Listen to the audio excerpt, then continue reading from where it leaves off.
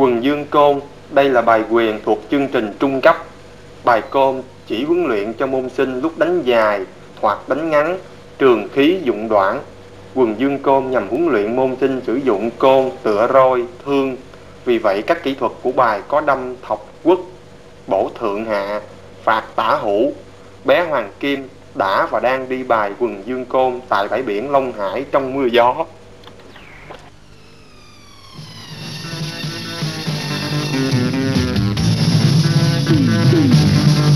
Thank you.